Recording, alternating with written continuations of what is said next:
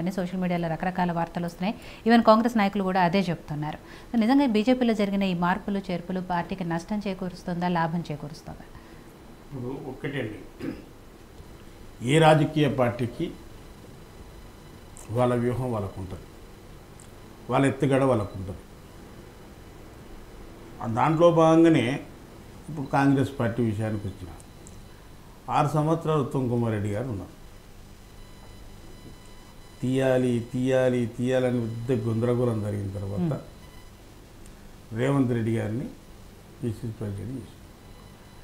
ఇప్పుడు వాళ్ళ పార్టీకి ఒక రెడ్డి దిగిపోయిన తర్వాత ఇంకో రెడ్డి అయిండు అది ఆలోచన చేయకుండా ఒక రెడ్డి సామాజిక వర్గాన్ని పెట్టిండ్రు బీజేపీ పార్టీకి అని చెప్పేసి అని వాళ్ళు మాట్లాడడం ఎంత విడ్డూరం. దానికి అవునా కాదు? ఇంకొకటి మేము సామాజిక కోణంలో అన్ని వర్గాలను సంతృప్తిపరిచే కార్యక్రమంలో ఉన్నాం. ఇప్పుడు బండి సంజయ్ గారు ఆల్రెడీగా రెండు సంవత్సరాలైన పీరియడ్ అయిపోయి కూడా ఒక ఏడెనిమిది నెలలు ఎక్కువైంది. ఆ సమయంలోన మేము ప్రత్యర్థి పార్టీలను ప్రతిపక్ష పార్టీలను గమనించుకుంటూ మేము ఎట్ట అడుగులు ముందుకు వేయాలని చెప్పేసి అని మేము ఆలోచన చేసుకుంటున్నాం.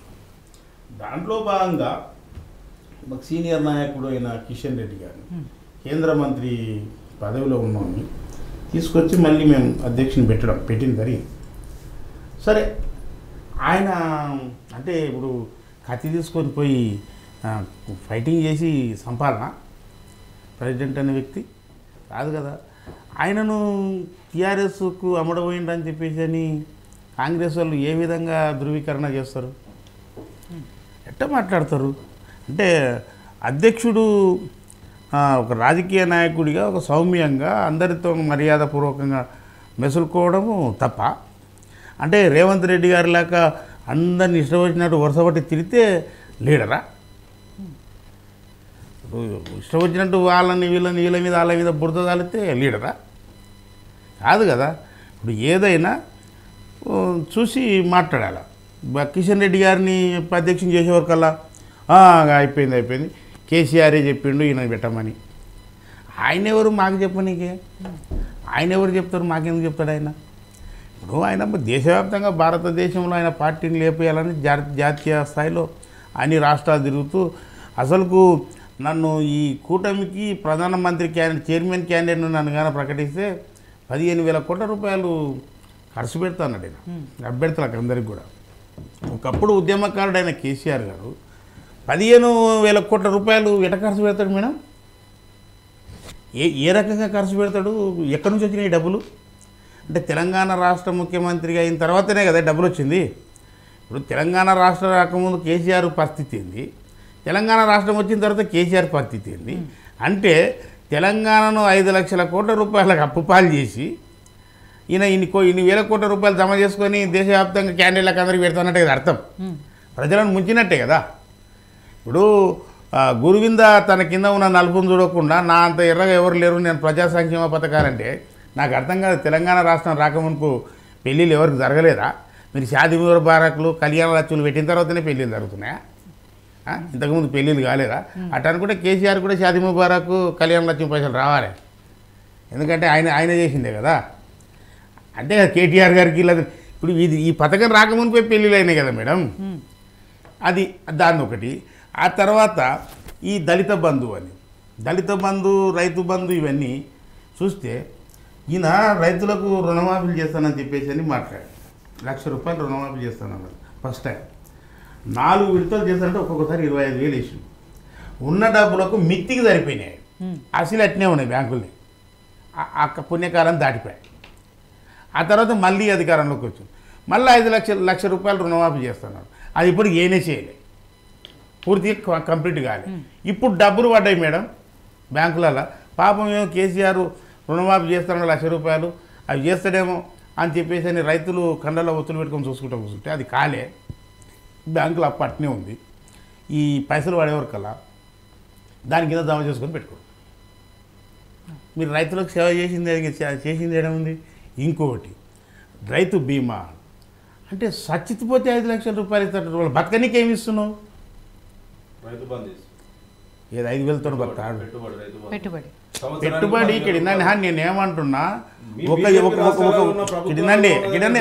మా రాష్ట్రాల సంగతి తెలిసిపెట్టు ఇప్పుడు నేను ఏమంటున్నా? మీరు ప్రజల సొమ్ము తీసి మీ ఇంటికాంచి తీసుకొచ్చి తీసుకురా ప్రజల సొమ్ము పంచుతున్నారు మీరు. మోడీ మంచిది మోడీ ఇదండి నేను నేను మేము అంటున్నామా మరి ఏదైనా ప్రభుత్వ తీసుకొస్తారు కదా? మేడం. ఇప్పుడు మేము చెప్పట్లేదు కదా. మా మోడీ గారికి కూడా ఇస్తున్నాం అని చెప్పి చెప్పట్లేదు కదా. మీరు ఎకరాకు వరి పండిస్తే ఇరవై ఐదు వేల నుంచి ముప్పై వేలు అవుతుంది. నీకు ఇస్తుంది ఐదు వేలే. గవర్నమెంట్ సబ్సిడీ పేరుతోన పదహారు వేలు ఇస్తుంది కదా సబ్సిడీ పేరుతో ఎరువులను. దాన్ని ఎవరు లెక్క కట్టాలి? ఇప్పుడు రైతు బంధు అంటన్నా రైతు బంధులు ఇప్పుడు మీరు సబ్సిడీ. అంటే అంటే నేను ఏమంటున్నా ఇవన్నీ ఈ సంక్షేమ పథకాలు మమ్మల్ని గెలిపిస్తాయని చెప్తారు బాగానే ఐదు లక్షల కోట్లు ఇవ్వడం అప్పు ఎవరు దింపాలి?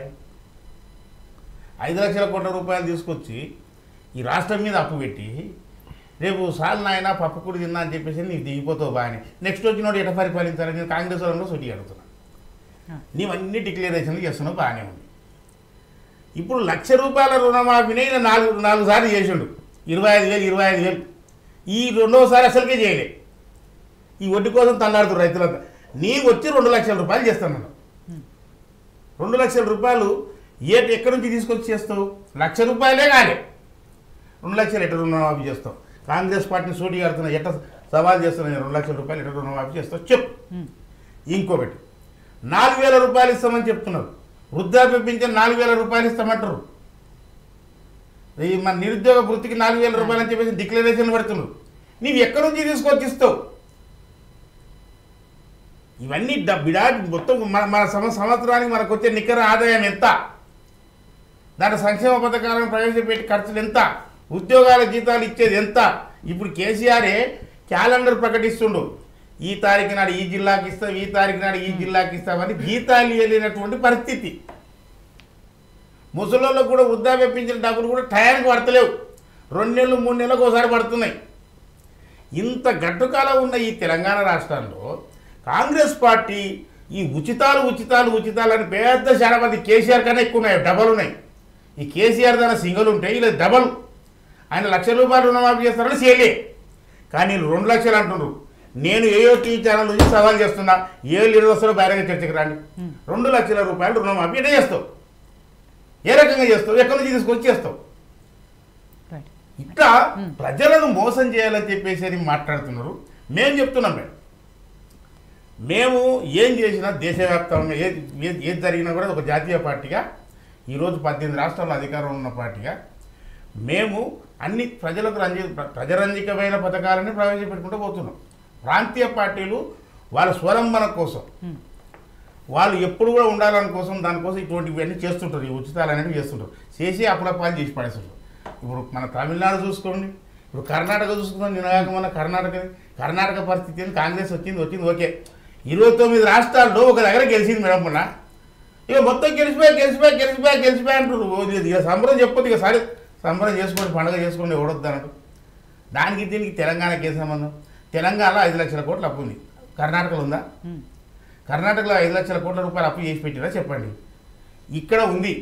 దీన్ని ఎడ చేస్తావు నువ్వు ప్రజలను ఏమర్చి నీవు ఉచితాలనే పేరుతోన గందరగోళం సృష్టించి నీ ఓట్లు వేయించుకొని ఈరోజు ఆ పార్టీ నుంచి వస్తున్నారు మాది జోరు పెరిగింది కాంగ్రెస్ జోరు పెరిగింది.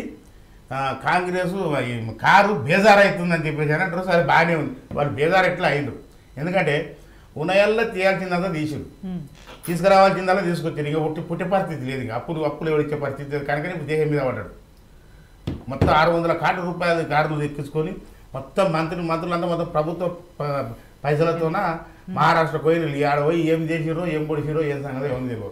ఇప్పుడు ఈ ఇద్దరు కూడా ఒక ఆయన్నేమో ఆల్రెడీ మోసం చేస్తున్నాడు ఒక ఆయన అదనంగా మళ్ళీ డబల్ డబల్ మోసాలు చేయడానికే పెద్ద పథకాలు వేసుకొని ఉచితం ఉచితం ఉచితం ఉచితం అని చెప్పేసి అని షాడ భారతంత లెక్క తయారు చేసుకొని వచ్చి మీద పడుతున్నారు ప్రజల మీద.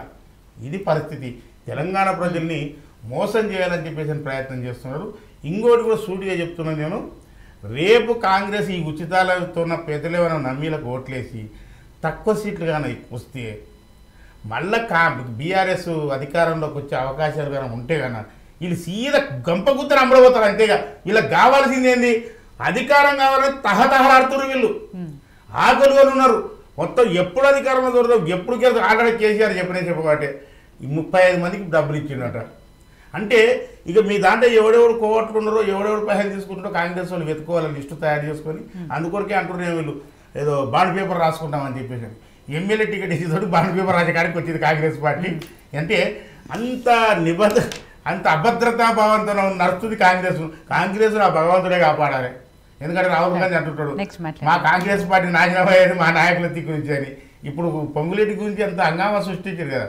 ఇప్పుడు ఏమైతుందో చూడండి ముగ్గురు మూడు మూడు రాళ్ళ పంచాయతీ స్టార్ట్ అవుతుంది అంత గందరగోళం గందరగోళం. కనుక ఈరోజు ఈ దేశానికి రక్షణ ఈ తెలంగాణకు రక్షణ. క్లియర్గా చెప్తున్నాను మేడం నేను భారతీయ జనతా పార్టీ ఉన్నాను. అంటే ఉన్న పరిస్థితులను ఒకసారి మనం గమనిస్తుంటే ఈ తెలంగాణను ఆదుకునే పరిస్థితి ఆ యొక్క శక్తి భారతీయ జనతా పార్టీకే ఉన్నది.